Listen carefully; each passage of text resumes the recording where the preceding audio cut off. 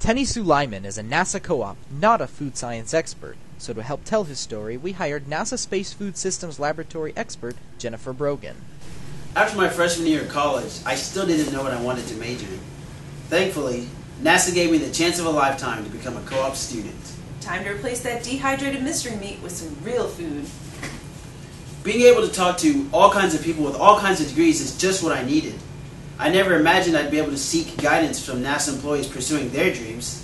We like to give our crew lots of options meatloaf, grilled pork chop, peanut butter, cheddar cheese. Not only do I have a future job opportunity with an inspiring agency, cocktail, I can return to my university confident flakes, that the degree choice I made is the right one. Candy coated chocolates, tortillas, cinnamon scones.